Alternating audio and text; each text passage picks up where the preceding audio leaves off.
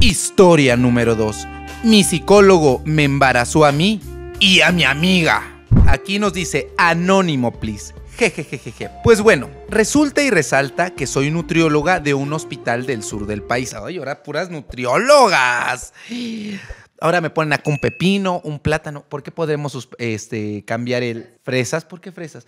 No les vaya a dar su cervix en fresa, porque usted. ay, la otra vez que les puse, busquen eh, gangrena de Fournier, todos se asustaron de que puse gangrena de Ahora, ahora pongan cervix en fresa por, y vean por qué agente infeccioso se, se produce por las tricomonas. Entonces pónganme fresas. Vamos a poner una fresa, un pepino, un platanito. ¿Qué otra cosa ponemos? unos melones. ¿Qué melones, mami? ¿Qué melones? Bueno, ya vamos con la historia. Dice, hora de nutriólogas. Comencé a laborar desde 2021 en dicha unidad. Y a decir verdad, yo venía con mucha expectativa de la LP gracias a tus videos. Claro, Mr. Doctor, propiciando la LP. Es que es uno de los factores por los cuales les gusta estudiar. Dice, porque seré muy inteligente, pero también soy muy cochina. Y como dijo aquel sabio... ¡Viva la. Y me puso, y me puso el, este, el cochinito. Pongan ustedes los cochinitos en, en, los comentarios. Resulta que al mes de estar laborando, uno de los adscritos de psicología, que es muy, muy joven, de aproximadamente 27 años, empezó a tirarme miraditas, pero la verdad es que como le gustaba a una de mis amigas, decidí no hacerle mucho caso, porque dije, ay no, yo nunca seré chapulina. Eso sí, jamás. Ay no, eso sí jamás. Ay amiga, no digas de esa agua no ¿eh? porque terminan chapulineándose. Si tú sabes qué es chapulinearse. Chapulines son estos, este, pues son insectos, ¿no? Los chapulines son insectos. Si tú eres biólogo, dije, dime qué es un chapulín. Es un insecto, pero son de estos que saltan, saltan, saltan. Por aquí va a aparecer un chapulín. Pero aquí en México se le dice chapulín al que anda con la novia de un amigo suyo. Se la chapulinea. No, no vayan a confundir como Chapulín, como Chapultepec, que acabó todo por andarse. Busquen Chapultepec, la historia de Chapultepec, cómo lo cerraron. Porque mandaron a varios a los conciertos celestiales de Jenny Rivera y de, este, de Vicente Fernández. Ay, somos bien malos aquí en este canal de YouTube.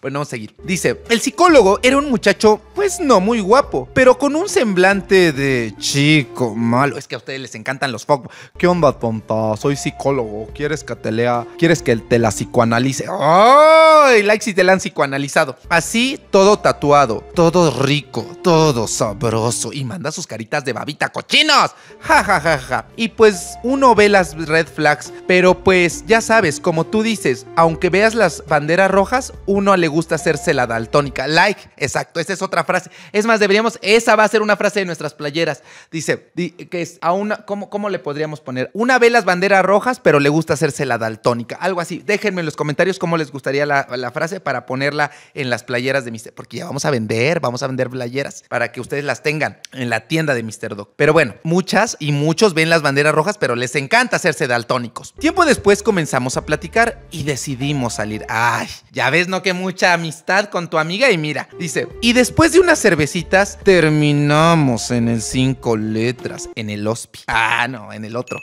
Dice, iba muy decidida yo ese día me había puesto mi calzoncito con encajes, el más bonito y el más sexy, para darle rienda suelta al asunto. Pero aquí viene lo bueno y nos pone y nos pone payasitos acá. Ese día por mensa, porque no puedo decir otra palabra y aunque la dijeras, ya sabes que aquí ya no podemos decir groserías, porque si no la Vale de YouTube no se nos censura. A ella, a Vale no le vale y si no, es cierto, Vale.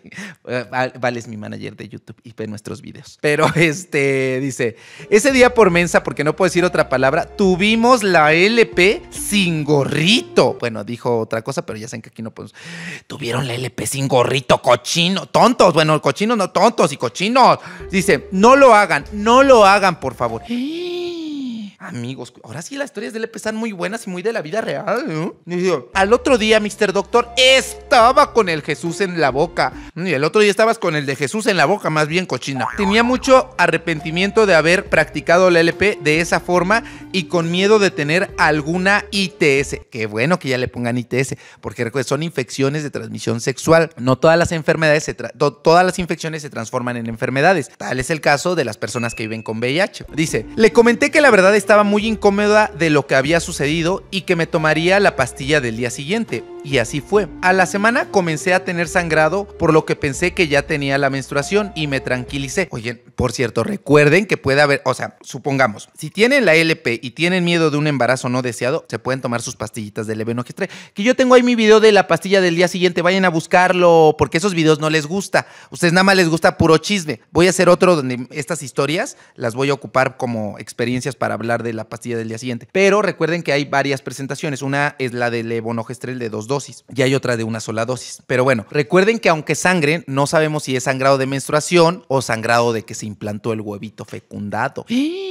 A ver, vamos a ver. A la semana comencé a tener sangrado por lo que pensé que ya tenía la menstruación y me tranquilicé. ¡Ja, ja, ja, ja, ja! ¡Pobre niña tonta! Era sangrado de implantación. ¡Sí se embarazó! Ta, ta. Nos puso payasitos. Ay, amigos, ¿ya ven? ¿Ya ven por su calentura y su LP? En ese momento yo no me di cuenta. Ay, amiga, es lo peor. Dice, pero pasadas ya cuatro semanas después de haber tenido ese sangrado extraño, dije, mmm, como que no me vuelve a bajar. Mmm, gracioso, pero no gracioso de risa, gracioso de raro. Raro el sangrado que te volvió a bajar. Dice, y yo me sentía como extraña. Claro, es que un alma estaba creciendo en tu vientre. Pecadora, ¿no es cierto? No es cierto, porque no tienen alma, o no sé. Como dice, el alma no tiene color. Qué buena telenovela con Laura Flores. Salía la Celia, este, ¿cómo se llama? La que cae. ¡Azúcar! La Celia Cruz salía en ese, en ese, en ese, este, en esa telenovela. Lai, si te acuerdas del alma no tiene color. Pero esta señora ya tenía, bueno, esta muchacha ya tenía un alma dentro de ella. Que no te escuche el Papa Francisco. Te va a excomulgar, pecadora. No es cierto. Tu cuerpo, tu decisión. Ya saben que aquí no somos ni pro aborto ni pro vida. Somos pro alboroto. Y aquí nos encanta el alboroto. Dice, yo me sentía como que extraña. Tenía sueño todo el día, me sentía inflamado. O sea, no era yo, porque estoy acostumbrada a ser una persona superactiva y también muy delgada. Mi intuición no se equivocaba. Sabía que algo estaba pasando. Es que ya lo dice Shakira, las mujeres son las de la intuición. Ay, qué buen, qué buen video sacó ahora la Shakira con el Jimmy Fallon que se fue, se fue a cantar en español. Muy bien, amigos. Para esto, el psicólogo y yo seguíamos hablándonos, pero no en plan de novios, solo en plan de cotorreo. Literal, solo hablábamos para decirnos tonterías y reírnos. ¡Qué guapa era! ¿Qué onda, tonta? Estoy esperando un hijo tuyo. Así, así ríanse, ridículos. Procedí a hacerme una prueba rápida de embarazo después de esperar, según yo, un tiempo pertinente. Muy buena oportunidad para explicarles que las pruebas de embarazo de sangre se pueden hacer al séptimo y décimo día. Y las de orina se tienen que hacer a las dos semanas. Idealmente tiene que ser la de sangre. Y recuerden que es la hormona gonadotrofina coriónica humana, la HGC, no la de Canal 5, sino la HGC fracción beta. HGC al servicio de la salud reproductiva. Buscamos a la madre de esta criatura. Así, así te van a buscar, ridícula, en el infierno, en el limbo por una criatura. Como me encanta a mí, ese no es cierto, amigos. Cada quien tiene sus creencias. Pero bueno, yo había esperado un tiempo pertinente y tras que me va saliendo la prueba y me va diciendo embarazadísima. Pues sí, embarazadísima, con todo co cochina. Yo no sabía qué hacer, no sabía ni dónde esconder la cabeza en ese momento. Y lo primero que hice fue hacerme una prueba de sangre. Y solo comprobé que estaba más embarazada que la mismísima Inés Gómez Mont con sus siete hijos. Sí, cierto. Que por cierto, anda prófuga de la justicia. A lo mejor ella también se divorcia. No, yo creo que sí se va a divorciar, amiga, después de que el otro le embarró, porque ven que es amiga de la Galilea. Qué fuerte. Oigan, por cierto, ¿vieron que salimos en las noticias de México con Moni Vidente de Selena Gómez está embarazada? Por aquí les vamos a poner una foto que los noticieros hicieron. Moni Vidente y Mr. Doctor adivinaron el futuro de Galilea que también se iba a divorciar. Por aquí les ponemos el fragmento del video donde lo dije. Por cierto, en hoy hay una epidemia de divorcios. Primero se divorció Andrea Legarreta, luego Mitania Rincón. Galilea, no vaya a ser lo mismo, ¿eh? Por favor. Pero bueno, su cuerpo, su decisión. Y por acá las noticias donde salió chismecito. Historias de LP, chismedicina, desmentimos suplementos. Y ahora hasta adivinamos el futuro. Historias de todo hacemos, amigos. Todo hacemos. No, miren, XH Derbez se queda corto. Ven que el Eugenio Derbez tiene su canal con varias secciones. Acá tenemos más secciones, por eso es un verdadero canal. Suscríbanse, ridículos, suscríbanse y compartan estos videos. Estaba más embarazadísima que la mismísima Inés Gómez Mont. Yo no sabía qué hacer, no sabía ni dónde esconder mi cabeza en ese momento. Sentí que que el mundo se me venía. No, amiga, el que se te vino fue otro ridícula, por eso acabaste embarazada. Sentía que el mundo se me venía encima porque claramente no quería ser mamá en este momento y mucho menos tener un hijo de un tipo tan irresponsable como él. Pues no fue el único irresponsable, amiga. Tú también hazte responsable, pero bueno, tu cuerpo, tu decisión. No sabía ni cómo decírselo porque pensaba que me iba a mandar por un tubo. Tubo, tubo, súbete a mi tubo, tubo. Le llamé una noche para decirle la situación y literal, antes de que yo dije más, me dijo, no, no me puedes hacer esto. O sea, ya se la solía. Claro, porque dicen que huelen, las mujeres embarazadas huelen. Like si tú crees eso. Ay, es una ridícula, es claro que no huelen. Por favor. Oigan, por cierto, qué buenas historias. Ahora están redactando muy bien. Así redáctenme sus historias, amigos. Porque luego, ay, yo ya te la mandé. Ahí me mandan, primer, en primer lugar, luego me mandan sus ojotas bien largas y no sintetizan. Esta está muy buena. Y luego también me manda sus historias bien chiquitas. Pero a ver, y entonces dice, no, no me puedes hacer esto. Y yo así de, what the fuck, bro. Me la metes sin gorrito y qué esperabas. Pues sí, amigos. Ahora, ay, ¿por qué será es un castigo de Dios? No seas ridículo. Es como los que van en la moto. Ay, ¿por qué Dios? Porque ahora le echan la culpa a Dios. Pues si se andan ahí, ah, mira, hasta se me van las palabras. Se andan ahí destruyendo el cráneo por no ponerse casco. Pónganse casco y pónganse cinturón de seguridad. Y luego, ¿qué esperan, por favor? Ay, ay, ay, solitos, como el meme de, ay, ¿por qué Dios me castiga si solitos se meten el palito ahí en la bicicleta? Si han visto ese meme, está muy bueno, si no, por acá va a aparecer. Dice, no es como que no sepas lo que pasa después de practicar el LP. Después de tranquilizarse, porque le dije, vato, no lo quiero tener, y solo dijo, ay, qué bueno, menos mal. ¿Y qué? Si lo hubiera querido, que Oigan, yo siempre he pensado que qué pasa con esas mujeres que se embarazan y dicen, bueno, yo no quiero tener el, el hijo, bueno, tu cuerpo, tu decisión. Pero que los papás si quieran, hubiera estado muy buena esa historia. Dice, me dijo que aceptaba su responsabilidad y que le dijera que, que es lo que yo necesitaba. Fui a hacerme un ultrasonido y ahí vi a mi saquito vitelino. Ay, amigo, tu saquito vitelino es como la capita de lo que va a ser este la, la cubierta amniótica, el apnios, que es lo que este, cubre al bebecito, esa, esa como telita transparente. Dice, vi mi saquito vitelino. ¿Sabían ustedes que el saco eh, del embarazo se ve entre las semanas 5 y 6? Eso tiene que ser con un ultrasonido de preferencia transvaginal. Pero ¿saben que no me hagan caso a mí porque yo soy internista ni soy ginecólogo? Imagínense si yo con especial y luego el otro ridículo hablando que según es especialista en, sexo- en sexología. Y por favor, dice, todavía hasta me preguntaban que qué quería que fuera. Y yo, ay, pues qué puedo hacer. Ojalá que sea ingeniero para que se va a reír. No, ay, somos muy malos acá. Dice, todavía me preguntaba el doctor que qué quería que fuera. Y yo así de, ay, pues yo quiero que sea un recuerdo, un mal recuerdo. Y así puso, eh, yo quiero que sea un mal recuerdo. Yo, Mr. Doctor, estaba en shock en todo momento. El encargado del ultrasonido me comentaba que qué bueno que había ido, que necesitaba tramitar mi incapacidad laboral cuanto antes. Y yo así de, ¿cómo? Y me dice, sí, mira, aquí podemos ver cómo ya hay un 20% de desprendimiento, además de un quiste hemorrágico muy grande. Necesita reposo absoluto. O sea, ya estaba a punto de que empezara a que fuera una por andarse moviendo. Dice, yo, Mr. Doctor, me quería morir en ese momento. Cuando le dije al tipo de los gastos, me dice, ah, pues yo te doy la mitad. Ay, sí, ahora la mitad. Ridículo, pues si la metiste completa.